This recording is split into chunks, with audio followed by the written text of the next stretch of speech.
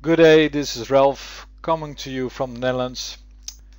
Uh, today I'm going to show you uh, the Casewise corporate modeler. We're going to have a look at the two modules you use the, you will use the most and have a, look at some of the diagrams. So let's start up the application. We are running CaseWise uh, through a Citrix environment.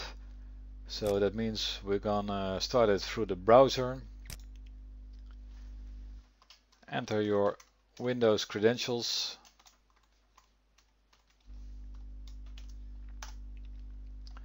Set it up.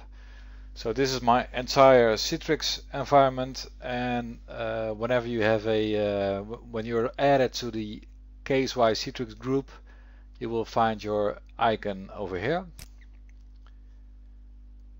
So this is the Casewise icon. Let's start it up.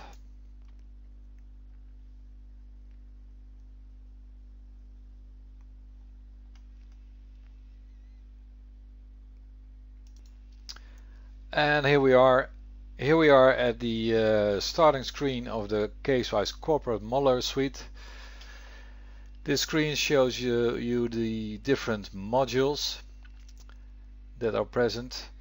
Um, when you're a designer or an architect you will most probably uh, will just use the corporate modeler and the object explorer.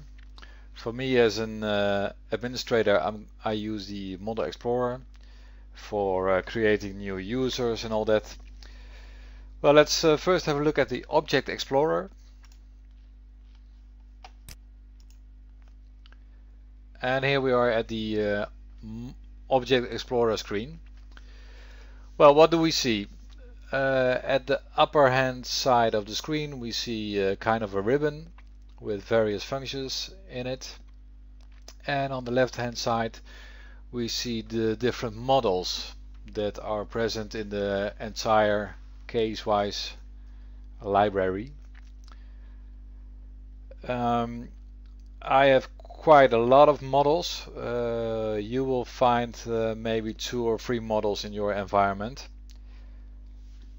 And that is the uh, Ziggo application architecture model over here. That's our production uh, environment.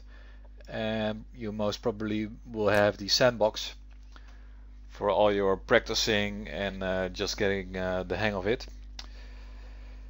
So, okay, so those, those are the various models uh, you you have to look at it um, this way that every model is uh, an environment uh, which contains diagrams and uh, all the objects that you would like to have in your repository. So here you see the total list of object types we hold in our library.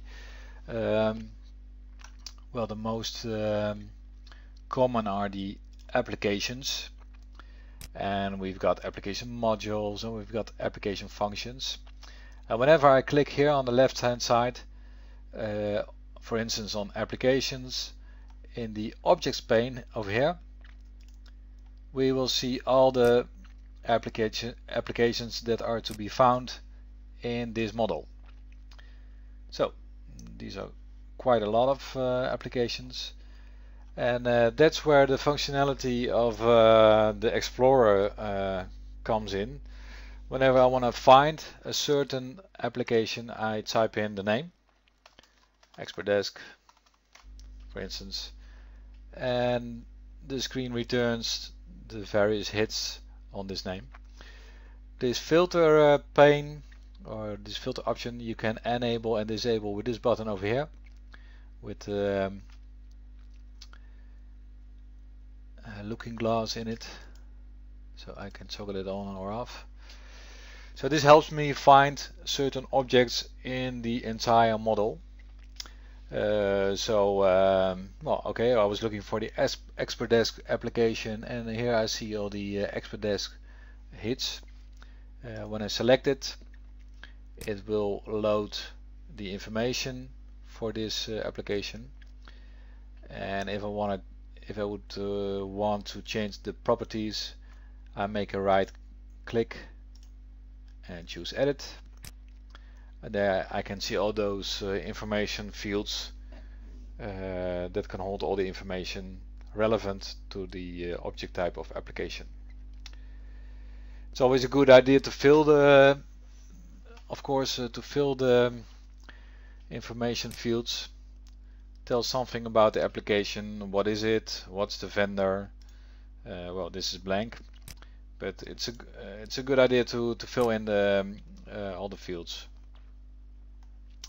At this tab, status, you see the owner, and you can see whether uh, this object is frozen or unfrozen.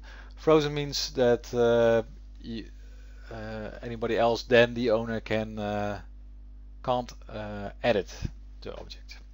Okay, let's return.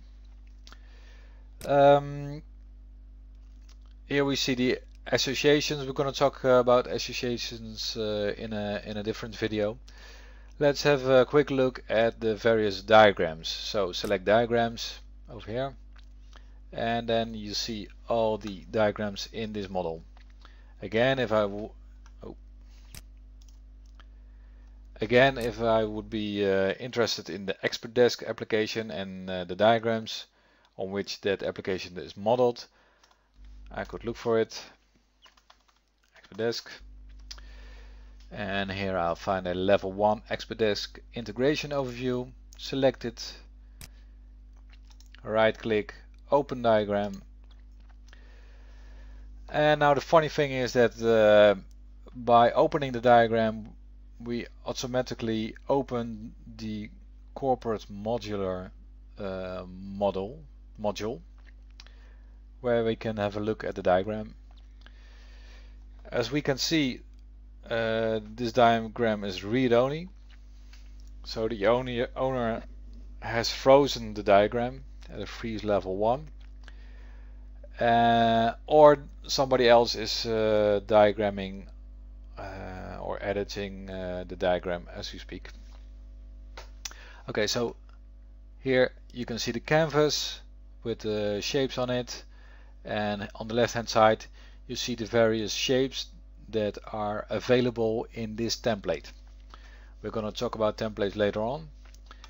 Okay, just click the shapes and uh, you see a presentation of the various uh, properties. Whenever you see a uh, tabular thing, you can uh, you can make an explode view. So let me zoom in on this. I select Kramer, I press F6 to zoom in if I would press F4 I would zoom out but F F6 zooms in I just choose uh, click on the on well how can I call it a tab or a matrix or something and it's gonna open the explode view which leads you to an entire uh, different uh, different uh, diagram so this was the we're going to talk about levels later on, but this was the level 1 overview and I made an explode and I dropped in at the level 2 Kramer. So this is a uh, detail level lower. Okay, this was a very quick uh, insight in the uh, use of the Object Explorer and the Corporate Modeler.